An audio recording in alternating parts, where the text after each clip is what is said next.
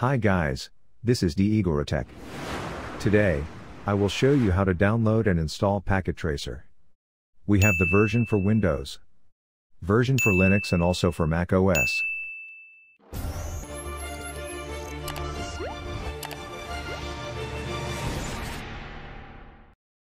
Let's begin. Open your web browser. You can go directly to this link skillsforall.com. This is the alternative link for netacad.com. You can also go to netacad but you will also directed to this link. In order to download the packet tracer, you need to have an account. This is totally free and it's very easy. To sign up, click on the account logo.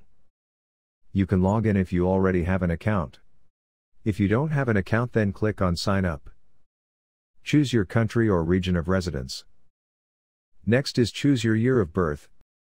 Also choose your month of birth. Once done, click Continue. You need to input the required details. Make sure to use valid email address and also make sure to remember your password because you will use it to log in later. You can click to view the password requirements. At least 8 characters, a lowercase and uppercase letter, a number and at least one special character. Also, password shouldn't match your email ID. Once completed, click Create Account. You must accept the terms and conditions. You can check the other box if you want to receive future promotions. Click Accept and Continue. We have now successfully created our account. Now, scroll down. Click Install Cisco Packet Tracer. Scroll down again. Look for Download Cisco Packet Tracer. Click on the download link. You will be redirected to the Packet Tracer download window. Scroll down and you will see all the version of Packet Tracer available. We have the version for Mac OS. We have the version for Ubuntu and lastly, the version for Windows. You may choose what operating system you are running or you want to install Packet Tracer. To download, simply click on it. While waiting for it to download, you can check the installation instructions. Alternatively, you can check the links on the description below for the installation guide. You can also check the system requirements. For Windows, it supports Windows 11, 10 and 8.1.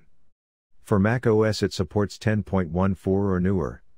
For Ubuntu it supports 20.14 LTS operating system. It supports 64 and 86-bit processors. At least 4 GB of RAM. Lastly, 1.4 GB free disk space. I will download all these versions of Packet Tracer. You can also download it from the links on the description below. You will have the option download link for Mac OS, version for Linux, and version for Windows. I will keep the download links updated to the latest versions released.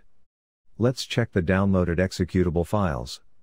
Again, for the installation guide, you can check the links on the description below.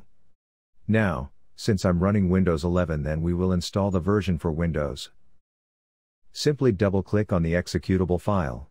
We will leave the installation process to default. Accept the license agreement then click Next.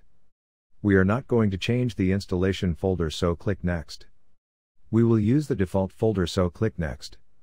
I want to create shortcut icon on desktop which is already selected so just click Next. Click Install to proceed.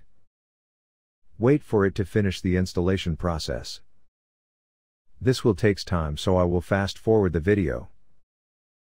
A shortcut icon has been automatically created on desktop. Launch Cisco Packet Tracer is already enabled so once we click finish then the application will automatically start. You will be asked if would you like to run multi-user when application starts. I will choose no since I want to use it only for myself. Choose Allow Access.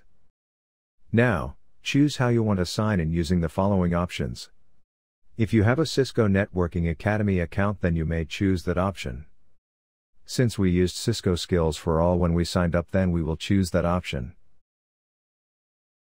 But first, if you are using your personal computer then you may check Keep Me Logged In for 3 months. This means, you will be logged in for 3 months so you won't log in every time you run this packet tracer. This is not recommended for public or shared computers. Now choose Cisco Skills for All. you will be redirected to the login link. In my case I was redirected to different browser which is Vivaldi which in fact, we used Mozilla browser to sign up during the process. Well, for this case, I can log in here if I want or I can copy this link and paste it to Mozilla browser which we're currently logged in. It will tell you that you have successfully logged into Cisco Packet Tracer. Now, let's go back to Packet Tracer. Notice that we are already logged in. To check the current version, go to Help. Choose About. From here, you can see the current version we are running. Since I enabled Keep Me Logged In for 3 months, let's try to close the application then open again. Notice that it did not require us to log in. If you want to log out your account, go to File. Choose Exit and Log Out. Now, let's launch the application again. It will now require for login since we log out our account. For Windows users, if you want to do offline installation then you can check the link on the description below for the offline installation guide. Well, that's all for today's demonstration and I really hope you liked this video. If you are new to my channel, please don't forget to like, share, subscribe and click on the notification bell for more amazing tutorials. Thank you and see you in the next video.